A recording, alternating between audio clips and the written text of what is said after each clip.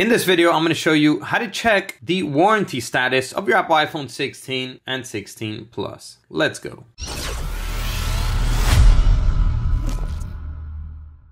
Welcome back to the video. My name is Sergio. In this channel, I make life-saving tech videos. So if you're new here, go ahead and subscribe and hit the bell while you're down there. All right, with that said, let's get right to it. So I'm gonna show you really quickly how to check the warranty status. Uh, maybe you wanna know if your iPhone has warranty still left over or you wanna know until when that warranty is, when it will expire. So there's actually two ways to check the warranty status of your Apple iPhone 16. The first way is by going into the settings. Here in settings, you're gonna scroll down to general. And then here in general, we're gonna select Apple Care and warranty.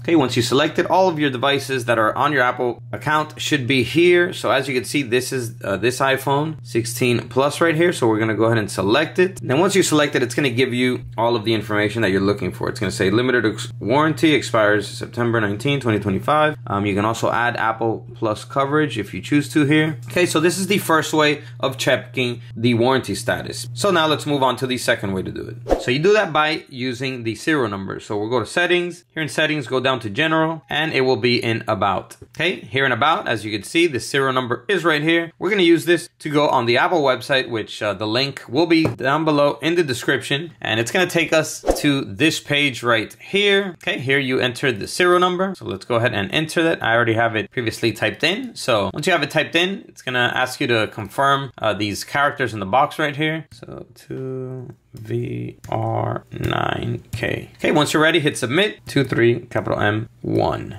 hit submit and it will pop it will show up your iphone here. So as you can see this one is iphone 16 plus and uh says the purchase date serial number and if you scroll down here it will give you the coverage details. So it has a limited warranty uh, with apple and it expires september 19 2025 so that is how you check the warranty status of your apple iphone 16 and 16 plus. Destroy that like button if this video helped you. Comment down below and let me know if it did and if you want an Epik custom wooden phone case for your phone like these, check out the links down below in the description. And that's all for this video. I'll catch you in the next one.